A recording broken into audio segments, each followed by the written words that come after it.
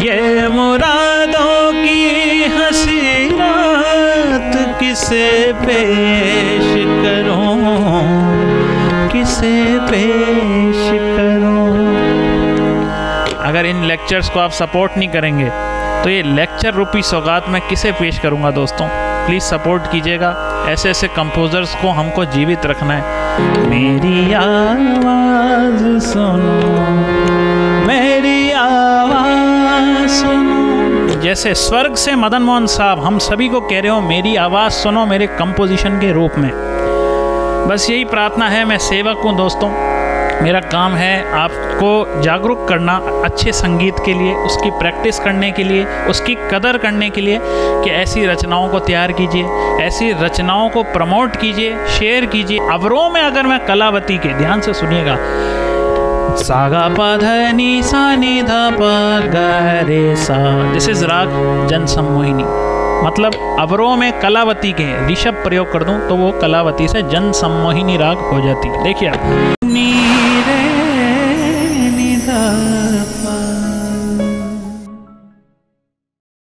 नमस्कार दोस्तों, आप सभी का स्वागत और अभिनंदन। आपके समक्ष आप ही की फरमाइश पर। जी हाँ दोस्तों, मैं लेके आया हूँ। South Indian ragas use by respected Madan Mohan sir. जी हाँ दोस्तों, इससे पहले वाले लेक्चर को आपने बहुत प्यार दिया और आपने कदर की इस चीज़ की मुझे बहुत खुशी है। और ऐसे म्यूज़िक डायरेक्टर्स हमेशा अविस्मरणीय रूप से हमारे संगीतमय यात्रा का हमारा हमेशा हिस्सा रहते हैं दोस्तों। और मेरे रूह में बसे हुए हैं मदन मोहन सर। मैं हमेशा कोशिश करता हूँ करता हूँ और आगे भी करता रहूँगा कि उनकी रचनाओं का शास्त्रीय विवेचन, उनकी रचनाओं की खूबसूरती मेलोडी कंटेंट आपके समक्ष मैं लेक्चर के रूप में प्रस्तुत करूँ, वर्चुअल कॉन्सर्ट्स के रूप में प्रस्तुत करता रहूँ, क्योंकि ऐसे म्यूज़िक डायरेक्टर सदियों में एक बार होते हैं। तो आज का जो लेक्चर है दोस्तों, वो आदरणीय मदन मोहन सर की जो साउथ इंडियन राग्स जो उन्होंने यूज़ किए बॉलीवुड में, उस पर मैं समर्पित करूँगा। लेक्चर बहुत गज़ब इसलिए दोस्तों क्योंकि इसमें काफ़ी रिसर्च किए मैंने। 700 से ज़्यादा कंपोजिशंस मदन मोहन सर ने की है जो कि राग बेस्ड है, लेकिन उसमें से south Indian ragas prominent songs जो आपके फेवरेट सॉन्ग्स हैं, मेरे फेवरेट सॉन्ग्स हैं, जो साउथ इंडियन राग्स में हैं, वो मैं आज आपके समक्ष प्रस्तुत करूँगा। उसका शास्त्रीय विवेचन कौन सी राग पर आधारित है और क्यों इस राग पर आधारित है? तो लेक्चर पूरा देखिएगा दोस्तों, और पसंद आए तो सपोर्ट कीजिएगा। मेरे लिए नहीं तो मदन मोहन सर के लिए। तो चलिए शुरुआत करते हैं। सबसे पहले दोस्तों, मैं ये बताना चाहूँगा आपको कि साउथ इंडियन राग्स होती कौन सी हैं? वो राग्स जो नॉर्थ इंडियन ना हो सिंपल सी बात। मीन्स ऐसी रागें जो हमारे 10 थाट में कैटेगराइज नहीं होती। इसका मतलब 72 थाट्स में से ये राग कैटेगराइज होगी, जो कि साउथ इंडियन का जो मेल वर्गीकरण है, उसमें क्लासीफाई होती है। अब कुछ रागें दोस्तों, देखिए जैसे राग शिवरंजनी। सा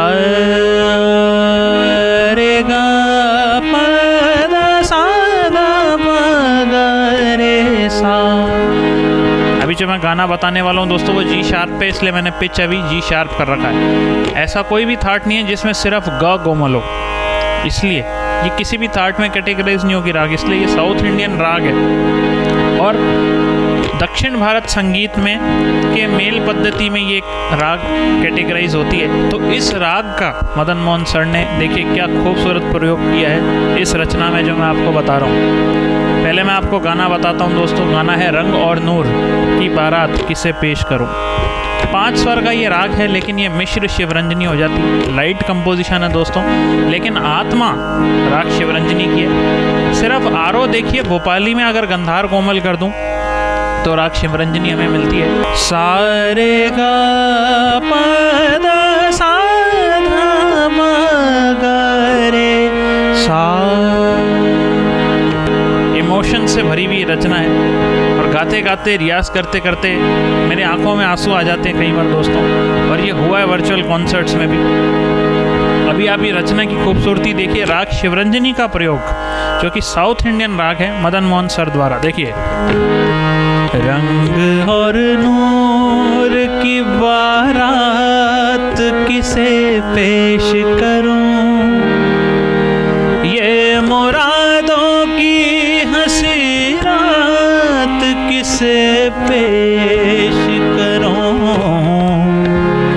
किसे पेश करूँ। रंग और नूर की बारात किसे पेश करूँ?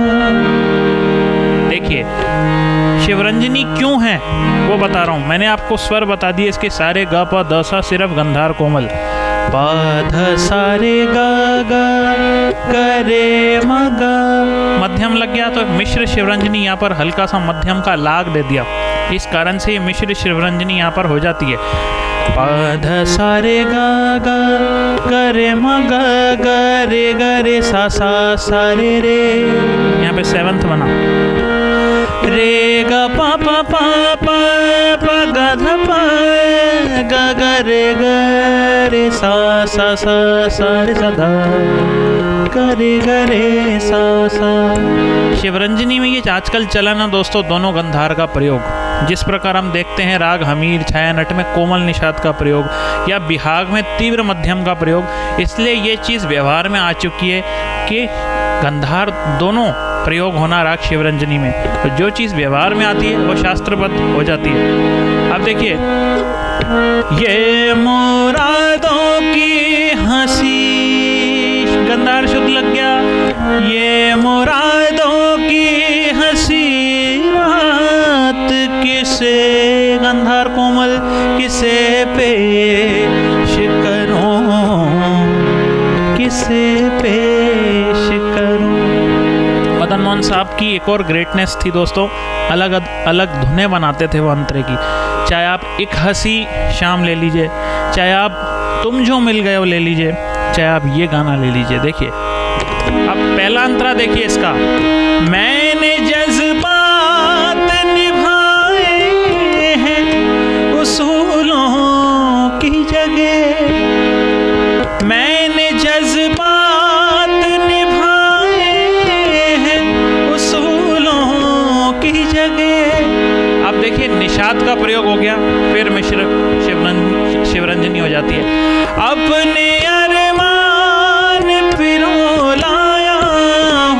दोनों गंधार का प्रयोग देखिए।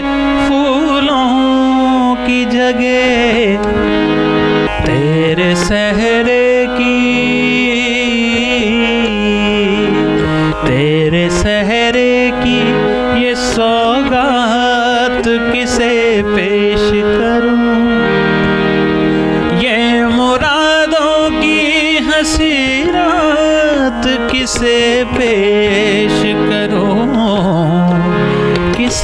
पेश करूँ। दूसरा अंतरे की धुन चेंज है जो कि मेजर में जाता मैं संक्षिप्त रूप में आपको बताऊँगा, वरना लेक्चर बहुत बड़ा हो जाएगा।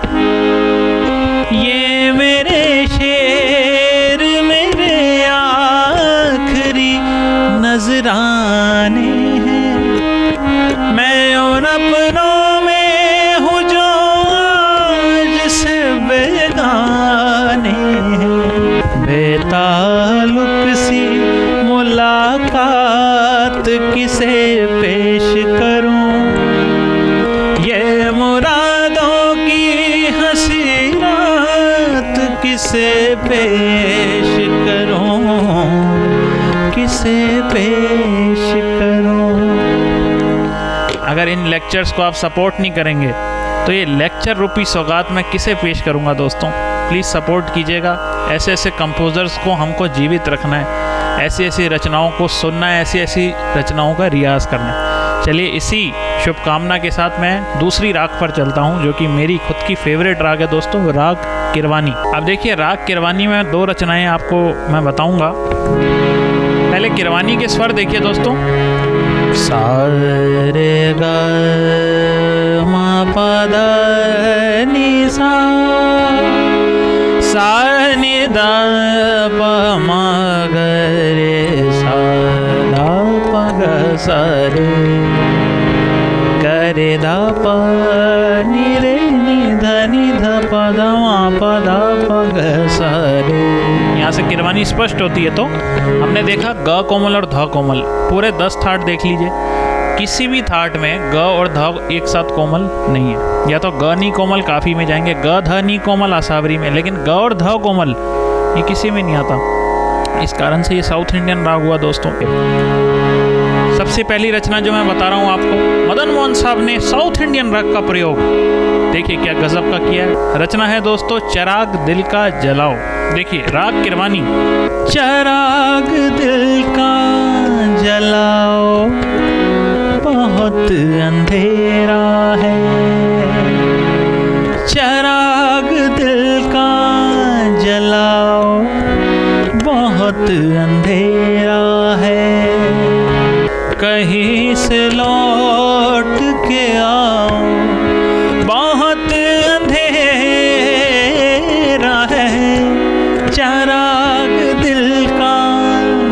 जलाओ बहुत अंधेरा है। अब देखो सा सारे सनी शुद्ध लग गया। पापानी कोमल भी लग गया। मिश्र की किरवानी होगी which is allowed in light music लेकिन ये लाइट म्यूज़िक है, आत्मा किरवानी की है। सारे गामा बदली सा सा सारे सनी नी, पानी कोमल, सानी पम ग पा पा पा।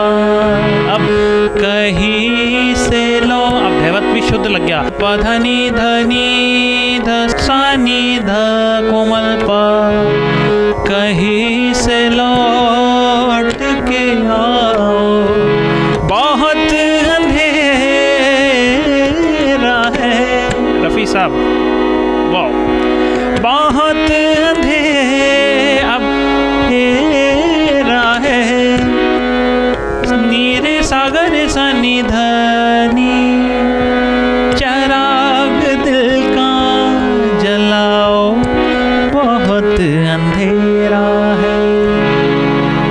देखिए अब रचना की खूबसूरती, देवत भी हालाँकि शुद्ध लगा है, निषाद कोमल भी लगा है। इस कारण से दोस्तों, ये मिश्र किरवानी में जाती है दोस्तों, लेकिन आत्मा किरवानी की कहाँ से लाऊं वो रंगत गई बहारों की?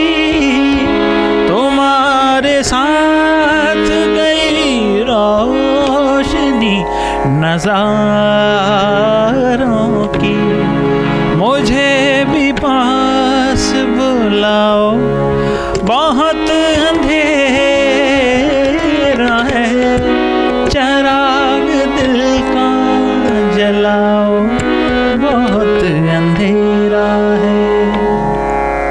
दूसरी रचना मैं बताता हूँ, जो मैं, जिसका मैं बात कर रहा था दोस्तों, मैं वो बहुत ही रुला देने वाली रचना है दोस्तों। आपके पहलू में आकर रो दिया। आप देखिए, शब्द भी रोने वाले हैं और रचना भी रुला देने वाली है। मदन मोहन साहब की यही ग्रेटनेस थी दोस्तों। शब्दों के अनुसार वो अंदाज डाल, डालते थे कंपोजिशन में। यहाँ तक कि मेहंदी हसन साहब ने भी कहा था, जब वो रुके रुके कदम उनकी रचना जब उन्होंने सुनी, उन्होंने सुनते कहा कि ये मदन मोहन सर की ही रचना है ये। गज़ल का तत्व, एक इमोशन फीलिंग्स पैथोस की फीलिंग्स मदन मोहन साहब डालते थे ऐसी दर्द भरी चीज़, वो आप इस रचना में आपको दिखेगी, देखिए। आपके again composition in raag Kirwani which is south Indian raag by Madan Mohan sir, देखिए। आपके में आकर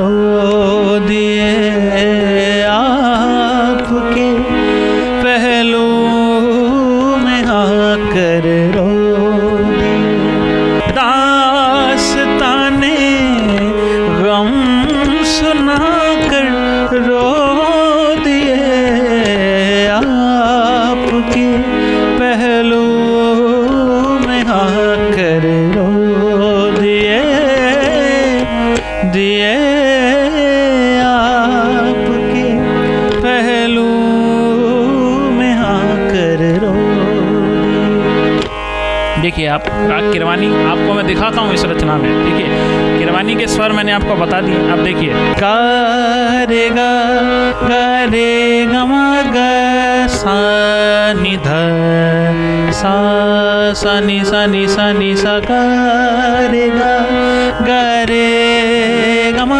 सा सा सा सा।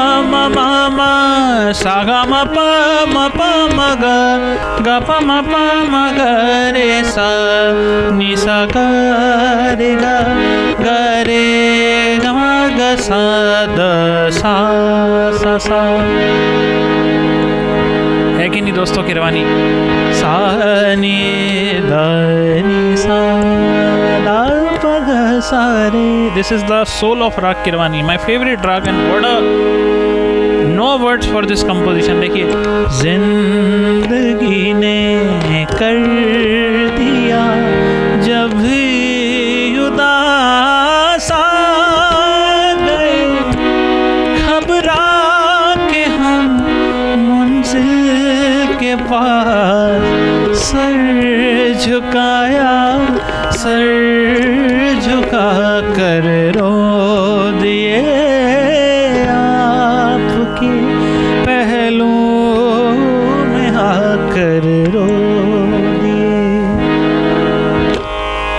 राग किरवानी का प्रयोग। तीसरी राग, जो कि साउथ इंडियन राग मदन मोहन साहब ने यूज़ की, वो आपकी सब, आप वाकिफ़ हैं उस रचना से। अगर आप शास्त्रीय संगीत, पुराने ओल्ड इज़ गोल्ड सॉन्ग्स आप सुनते हैं दोस्तों, पुराने नगमों को आप चाहते हैं तो ये गज़ल से आप ज़रूर वाकिफ़ होंगे। इस गज़ल के बाद लता जी ने मदन मोहन साहब को कहा था, गज़ल का शहज़ादा। देखिए, राग मधुवंती की मैं बात कर रहा हूँ। मधुवंती के स्वर देखिए पहले। सा गा मा प नी सा सा नी द म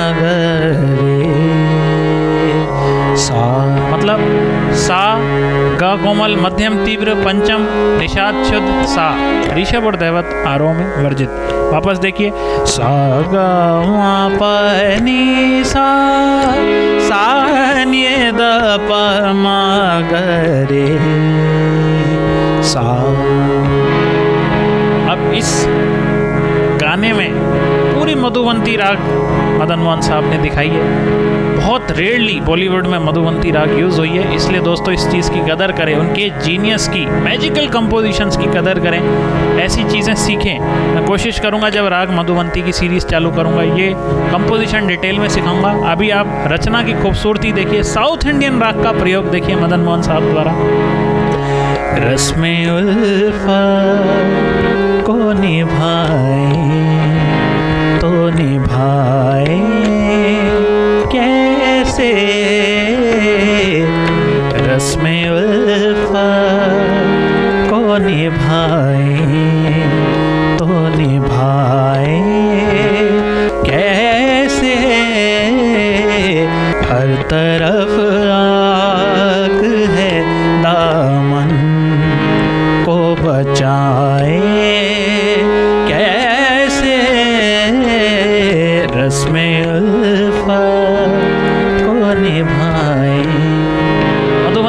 स्वर देखिए, पूरी मधुवंती आपको दिखेगी।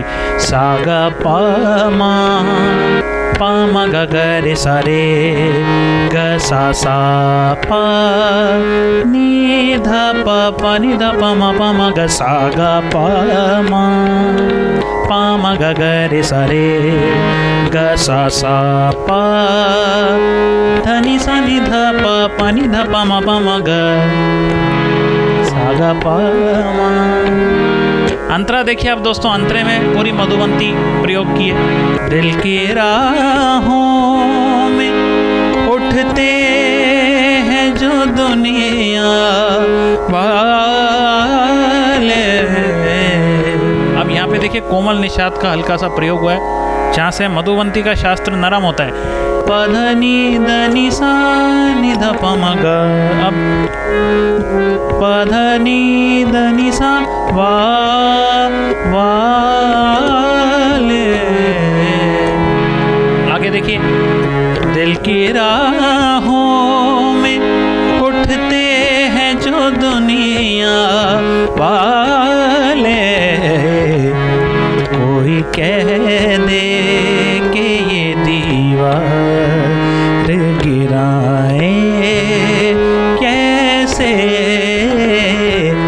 रस्म उल्फ को निभाए तो निभाए कैसे? हर तरफ़ आग को बचाए कैसे? रस्म उल्फ को निभाए। ये राग मधुमंती का प्रयोग। लास्ट की जो मैं राग बता रहा हूँ दोस्तों, वो है राग कलावती। ध्यान से सुनिएगा दोस्तों, राग कलावती का संप्रकृतिक राग है राग जन सम्मोहिनी दोनों रागों का प्रयोग देखिए, इस गीत के ज़रिए मैं बताऊँगा। चाचा नेहरू को समर्पित किया था ये गीत, दोस्तों। और इस गीत के लिए कहते हैं कि मद रफ़ी साहब बहुत ही रोए थे इस गीत के लिए, क्योंकि उनका अटैचमेंट था चाचा नेहरू से। खैर, ये अलग बात है, मैं टॉपिक से डाइवर्ट नहीं हूँ। राग कलावती की स्वर देखिए आप सबसे पहले। सागा सा this is again a south Indian raga सा ध प ग सा। अब सागा प ग प मुख्य चलन तो सा ग शुद्ध प कोमल सा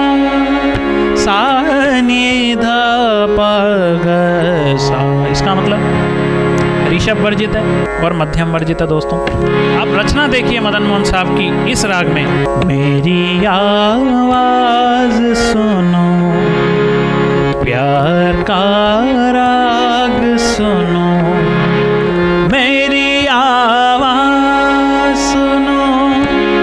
के स्वर बताए मैंने। अब देखिए।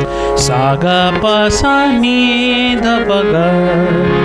सागा पसानी धपग सा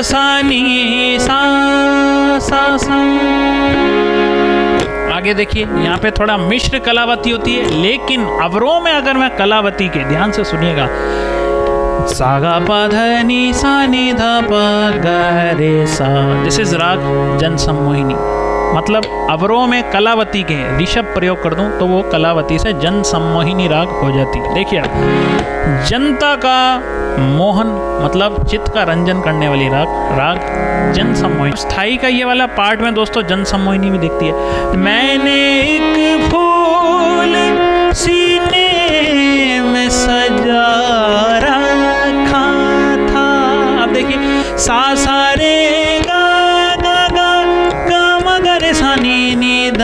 ध नि प ध सा सा सा। वापस देखिए।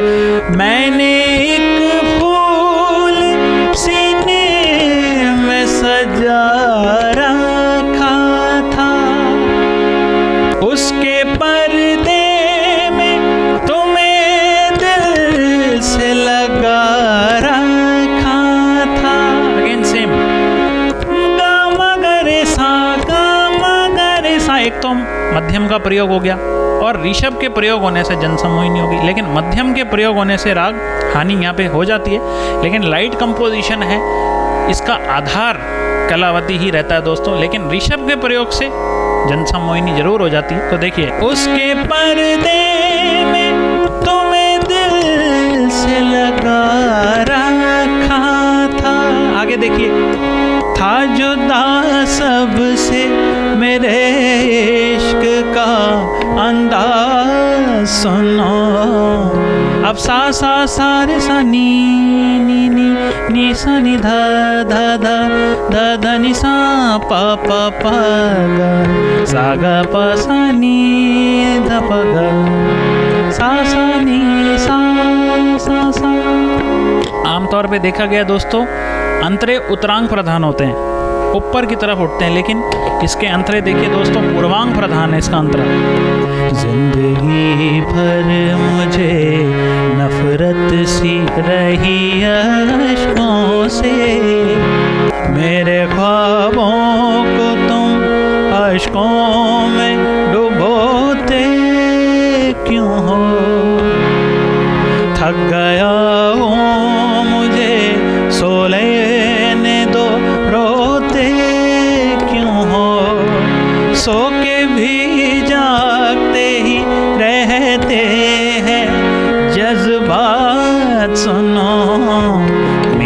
आवाज़ सुनो, मेरी आवाज़ सुनो। जैसे स्वर्ग से मदन मोहन साहब, हम सभी को कह रहे हो, मेरी आवाज़ सुनो मेरे कंपोजिशन के रूप में। बस यही प्रार्थना है, मैं सेवक हूँ दोस्तों। मेरा काम है आपको जागरूक करना अच्छे संगीत के लिए, उसकी प्रैक्टिस करने के लिए, उसकी कदर करने के लिए कि ऐसी रचनाओं को तैयार कीजिए, ऐसी रचनाओं को प्रमोट कीजिए, शेयर कीजिए। और अच्छे संगीत को प्रमोट कीजिए। इस south Indian ragas use by Madan Mohan साहब के द्वारा एक ये मैंने मैसेज देने की कोशिश की दोस्तों। राग मधुवंती, राग कलावती, राग शिवरंजनी, किरवानी, ये चार साउथ इंडियन राग्स का मैंने एक लेक्चर बनाने की कोशिश की। प्रयास कैसा लगा ज़रूर कमेंट में बताइएगा और ऐसे ही अच्छे म्यूज़िक को फॉलो करते रहिए। थैंक यू सो मच ओम शांति। चराग दिल का जलाओ बहुत अंधेरा है। चराग दिल का जलाओ